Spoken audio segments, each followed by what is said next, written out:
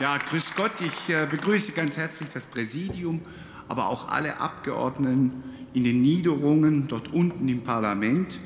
Aber ganz besonders begrüße ich die Kollegen hier oben im Olymp des Hohen Hauses. Wir haben ein sehr ernstes Problem. Und das heißt nicht Corona, sondern es heißt Spaltung. Spaltung der Gesellschaft. Wir sprechen über Integration und Kultur. Was ist das aber für eine Kultur, in der wöchentlich Hunderttausende demokratisch Spaziergänger bundesweit verunglimpft, beschimpft und kriminalisiert werden? Bevor wir über Integration sprechen, müssen wir zum Wohle unserer funktionierenden Demokratie die Risse in unserer Gesellschaft zu heilen beginnen, und zwar mit höchster Priorität. Diese Regierung, aber auch schon die vorhergehende Regierung, bekommt nichts in den Griff. Das Einzige, was sie im Griff hat, sind die Medien, ist die polithörige Wissenschaft, sind die agitatorisch wirkenden und ideologisierten Zivilgesellschaften. Woher kommt diese Eintönigkeit, diese Uniformität, die man eigentlich schon Gleichschaltung nennen könnte? Liegt es etwa an den unzähligen, maßlos wohlgefüllten Fördertöpfen des Staatshaushalts? Es ist Fakt, die blanke Zensur in den sozialen Netzwerken nimmt immer unerträglichere Ausmaße an.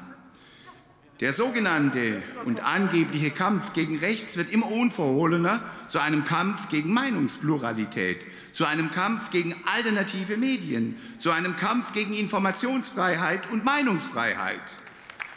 Bedingungslose Uniformität zwischen Medien und Regierungsmeinung und erkaufte Agitation und Propaganda darf und kann es in einer freiheitlichen Demokratie nicht geben.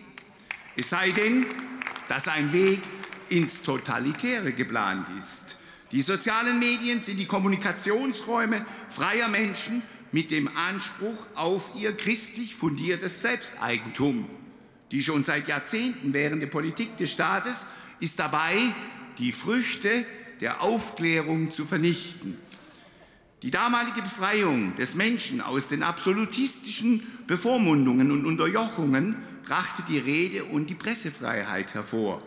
Und genau das war und ist der kulturelle Acker unserer Nation für freien öffentlichen Diskurs, für These, Antithese und daraus folgende Synthese, für freien Wettbewerb der Ideen und damit für gesellschaftlichen Wohlstand.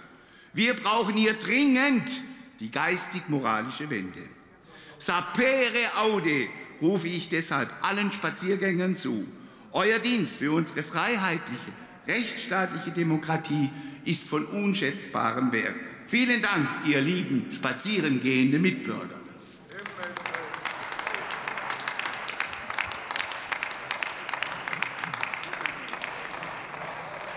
Thomas Hacker hat das Wort für die FDP-Fraktion.